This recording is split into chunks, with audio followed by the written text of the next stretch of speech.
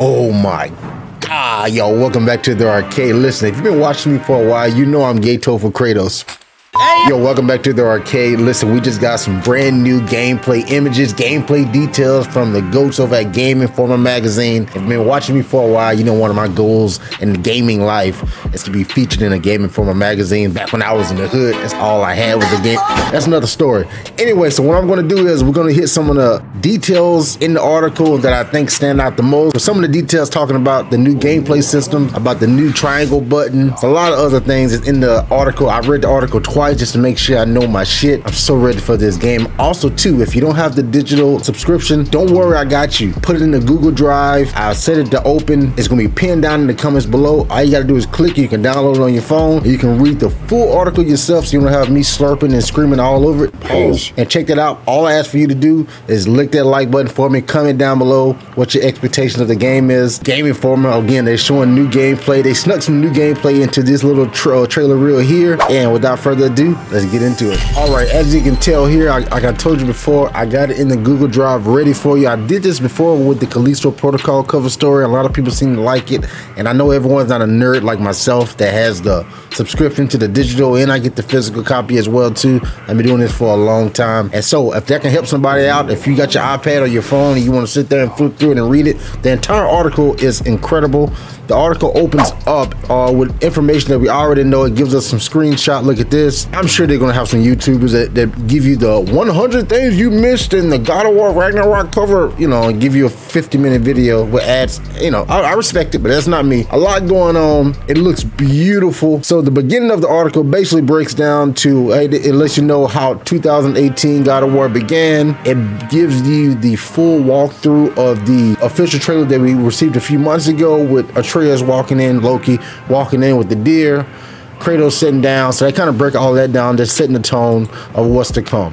Opening like setting of Ragnarok thus far. Three years has passed and the land is covered in perpetual snow. Atreus knows that catastrophe is imminent and implores his father to help him stop it. Kratos is worried that the interface could catalyze war with Asgard. One thing is for sure, the world is in danger and people need a hero or two while staving off the end times. Kratos and Atreus cross paths with old faces Freya, Thor, Brok, Sindri, your son bitch, and Mimir. What's up, brother? And a new dwarf named Durlin with a pet octopus. Okay, the exclusive footage I watched of the Dwarven Realm, Silver Selvertifheim, is no way I'm saying that right, provided me with more than enough insight and depth of complexity of Ragnarok's world. Lead level designer James Riding and level designer John Hickenbottom spoke with me about their experience crafting the points of interest, with the former saying we wanted to evolve the gameplay in the level spaces. More variety and verticality. In Silver Selvertifheim, you've got a lot of places that you got to go all within one realm and so much content. He's right. As soon as the video starts, I'm thrust into a maze like depot brimming with wood machinery, a technical marvel even by god of war's fantastical standards. Water sloshes down rickety ducts sectioned off by sluice gates.